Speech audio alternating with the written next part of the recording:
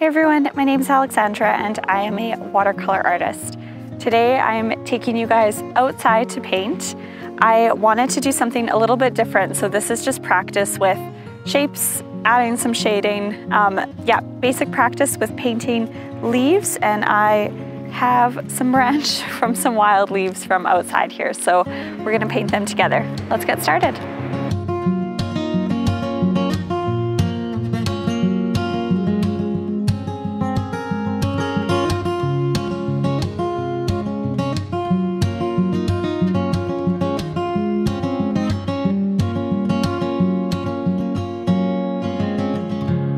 For today's practice, what I want you guys to do is either get some leaves, a branch, flowers, anything from outside, and you need either a light that shines and casts a shadow, or I have the sunshine here.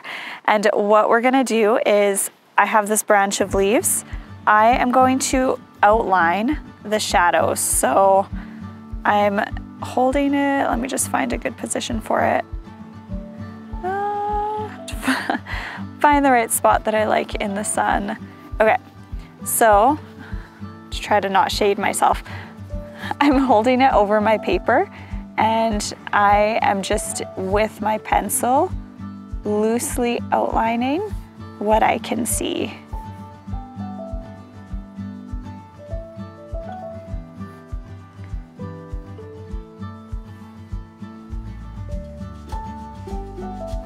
So I'm just focusing on outlining the shadow that I see. It is a little bit tricky in that you have to kind of get out of the way of yourself if you're using the sun like I am. So I'm doing it at a bit of an awkward angle, but the nice thing is, it doesn't really matter. I essentially just want to get loose shapes of the shadow that I see.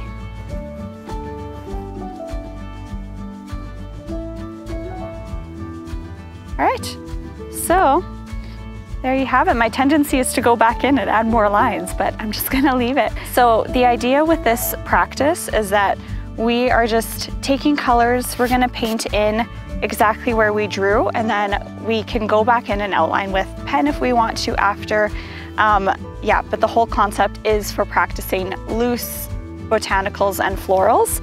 So that's why tracing the shadow is actually a really good way just to get the shapes of what you see and nothing is too defined. It sort of forces you to paint a little bit more relaxed, a little bit more loose. So that is our plan for today. So I'm gonna start with some green. The first layer that we're gonna start with is going to be lighter and I'm just gonna go in and paint in my shapes.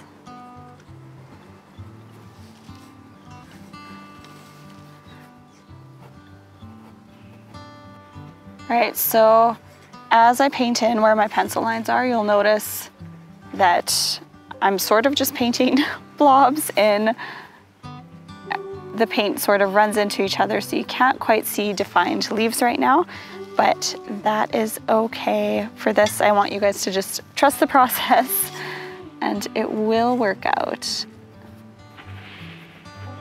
So I have a few different tones of green. I'm going some that are a bit more blue, some that are a bit more yellow, just because I want that mixture in my painting. So I'm just continuing to find where I've drawn the pencil lines, I'm just adding my paint in. Now I'm gonna go in wherever it's still damp and just add a bit more color to it. So I just wanna mix it with, with some more yellow. So right away you guys can see that this is done very loosely. Yeah, not, not with too much detail, but you can already start to see the branch, the leaves, where all of that is. So the next thing that I'm going to do is go in and paint my branches. So I'm going in, this time I can kind of see on my actual branch different color tones there. So the first thing I'm gonna go in with is sort of a brown gray. We're just gonna come from the top of our painting here and we're gonna work our way down. Now with the same color, I'm gonna do the same. I have some guiding lines where I could see the branches and in the spots that I missed it, I can kind of follow where I see the movement of the branch going. So from here I can see that the natural branch would be from the top down to the bottom here. So again, just starting with that gray color. And then as I look more closely at my branch here, I can see that there's some yellow and a bit of red in it. So we're gonna add that in. I'm just adding to the bottom here. I've mixed in sort of a gray, brown red here. It's a mix of all the colors, but just to get some more of those warm tones. And I'm gonna use my paintbrush just add the lines in.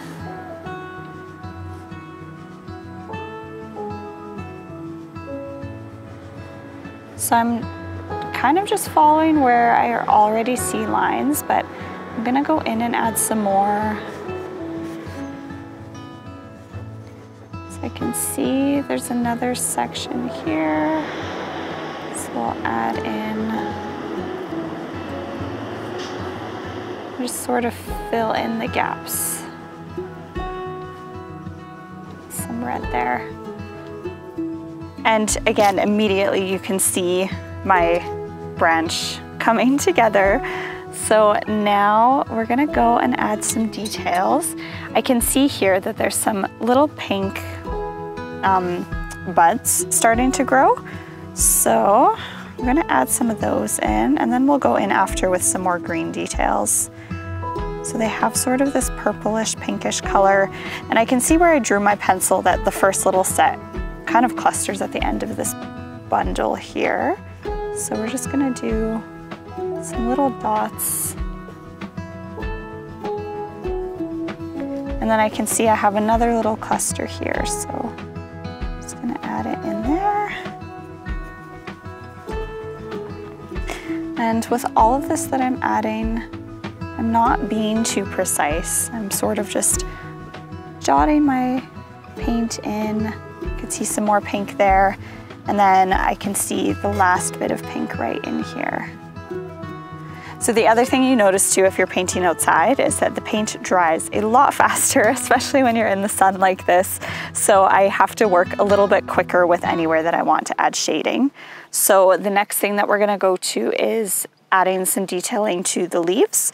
Um, with this part, I will, yeah, be moving a little quicker just to get everything painted before it dries. So I'm gonna go and I'm mixing some more paint. And this one I'm doing it a little bit darker than what I already have down. And we're just gonna start, yeah, painting in what we see really. So if I'm starting on this left side, I can see that this leaf on the one end sort of curls over. So I'm just gonna work my way in and give it a bit of a bit of a bend there. I can see that there's some shading in behind here. So I'm keeping everything still very loose, very natural. And I'm just adding some color in. Right now, if I'm going to these leaves, I can see where they have some more definition as well. So we're gonna paint this one in.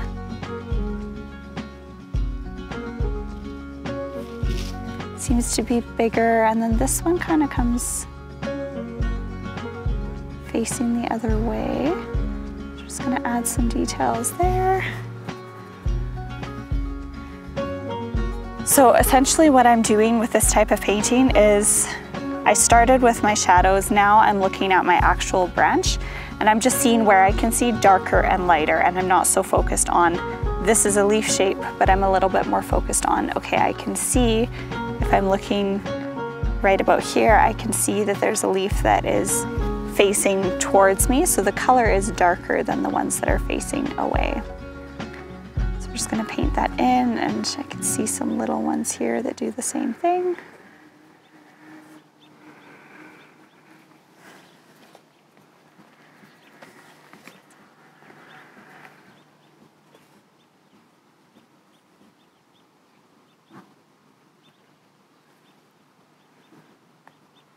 In this cluster of green, as I look closer, I can see that there's actually a few leaves in there. So I'm just gonna separate it up a little bit.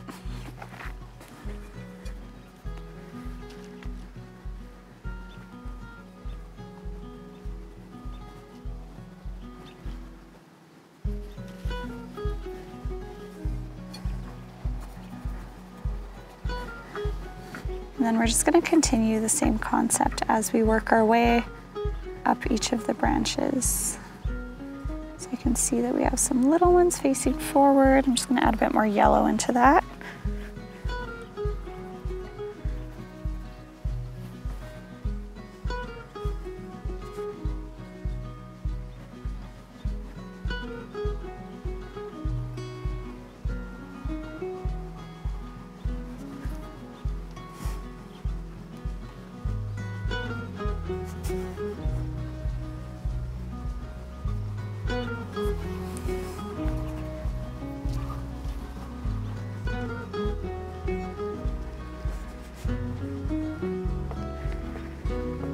I find it's very easy to get stuck on the fine details of painting.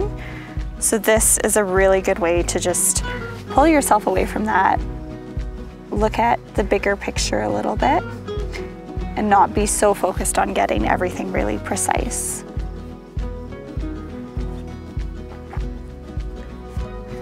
Leaves are really fun to do for this style just because they are very naturally, like they, they move, they flow, they're random. Um, flowers are also fun with shadows because it gives you sort of that general outside shape and then you have to kind of work your way in to get the different colors painted.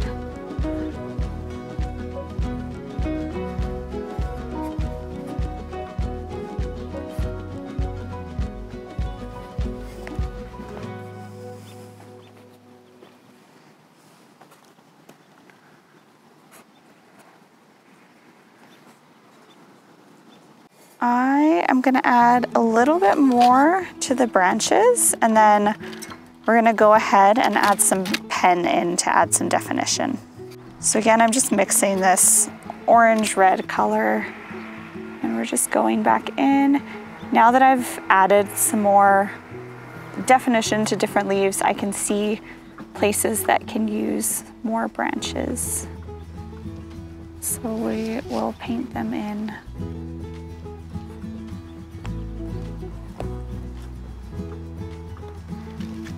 Right, so at this point, if you guys wanted to, you could stop and leave your painting as it is.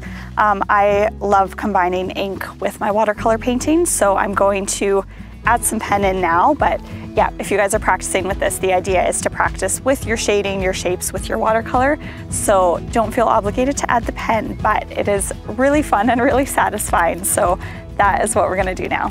So I'm just gonna pick a branch and start with it. So I'll start with this top one here.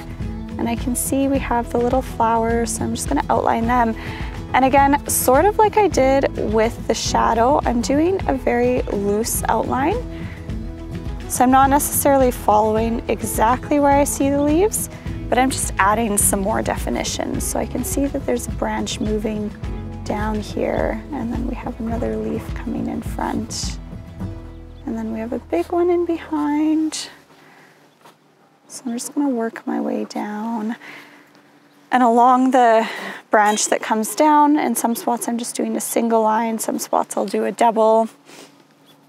As I look here, I can see leaves sort of folding over.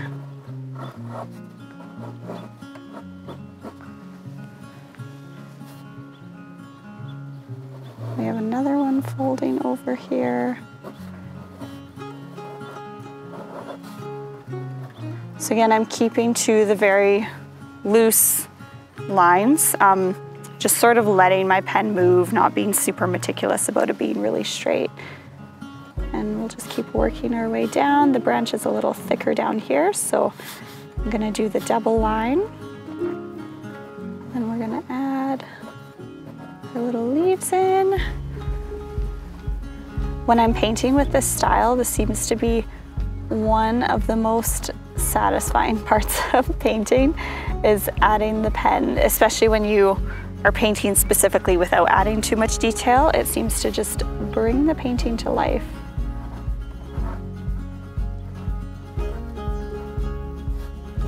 I have another little cluster of flowers there. And then here I can see the leaf seems to fold in.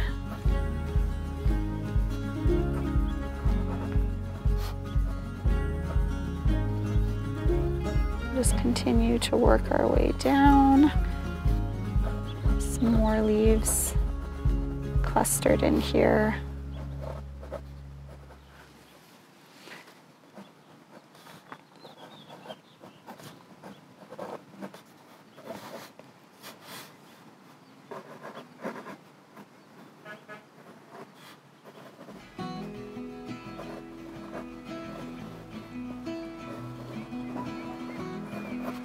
So the other thing too is often with leaves, we assume they all come to a very specific point, but when I'm looking here, I can see that they're sort of rounded at the edges. So just working on looking at your picture and drawing loosely the shapes that you see. So this one I had a leaf that's folded over.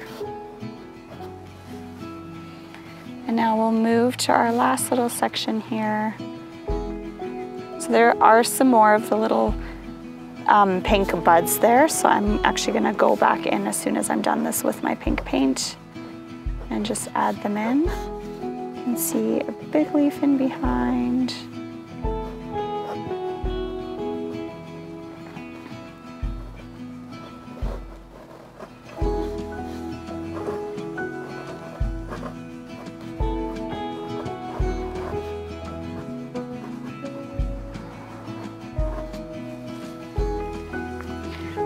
And I do see some veining in the leaves when I look at the picture, so I'm just gonna draw some of that in, but I'm not actually gonna do it to all the leaves.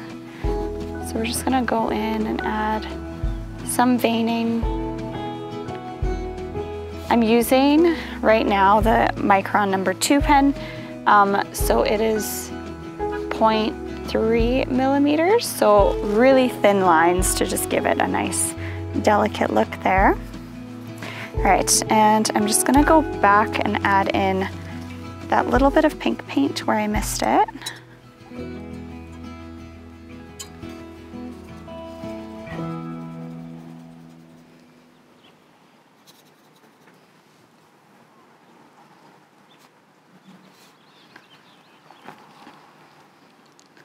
Once you guys add in your pen, if you feel like you want to add more color shading details anywhere, then you can go ahead and do that. Um, often I'll take a step back from my painting, look at it and see if I feel like it's missing anything. So in this case, when I'm looking at the leaves, I can see some yellow in there. So I'm just gonna go and paint a little bit with yellow into my painting.